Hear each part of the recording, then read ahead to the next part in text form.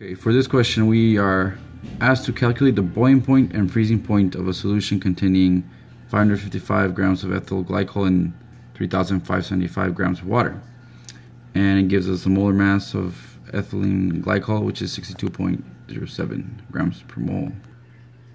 Okay, so to start off, we have 555.5 grams of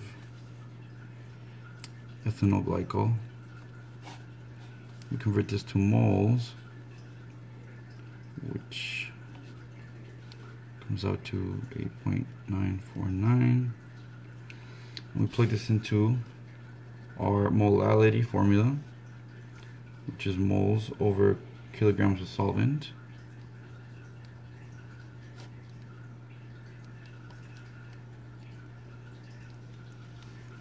Which is given to us right here and the moles we solved for. So this gives us 2.503. And to find boiling point and freezing point,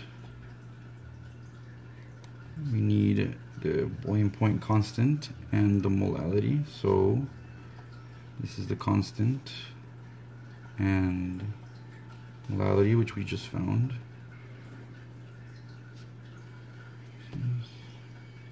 For freezing point.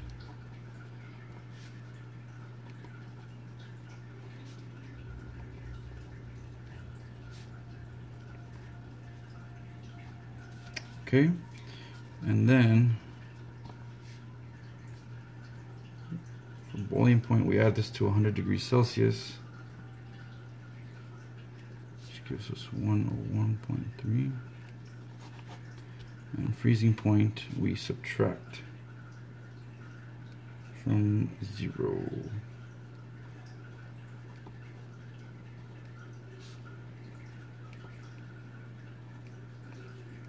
These are two boiling points and freezing points.